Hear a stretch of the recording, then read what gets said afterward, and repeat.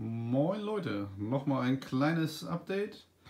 Ich habe die Tore aus dem Löwentanz auseinandergebaut und dann hier vorne als Eingangstor hingebaut. Habe eine Mauer nochmal drum gezogen.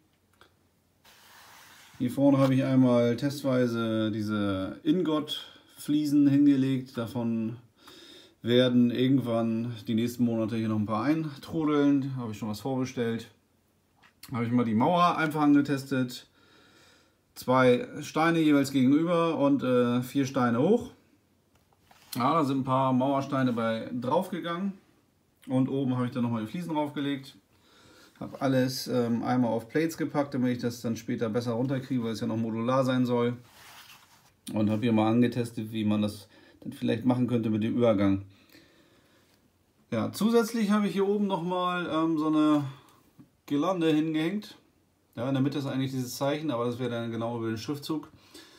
Irgendwie habe ich das Gefühl, da oben fehlt noch was. Und äh, ja, das ist nochmal so eine kleine Ergänzung. Das macht jetzt nochmal ein bisschen mehr her, finde ich. Ja, so schaut das jetzt äh, aus. Vielen tut natürlich jetzt noch der richtige Treppenaufgang.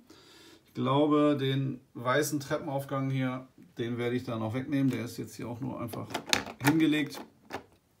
Ja, das äh, passt irgendwie vom Farbton dann nicht so richtig, finde ich. Und dann muss ich nochmal gucken, was ich hier drin mit dem ganzen Grünzeug machen will. Also das jetzt nochmal voll mit Fliesen packen. Ich glaube, das wird dann zu grau vielleicht. Muss ich mal gucken, wie ich das mache. Ähm, könnte mir auch gut vorstellen, dass ich später hier die Fliesen runterlege, da Fliesen runterlege und hier vielleicht irgendwie noch so ein Blumenbeet hin oder so. Mal schauen.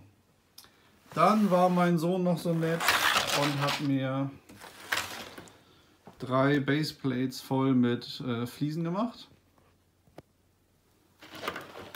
Ja, sind einfach nur ein Baseplate, dann äh, 4x4er schwarze Plates und dann die Wasserfliesen oben drauf. Mehr ist das nicht.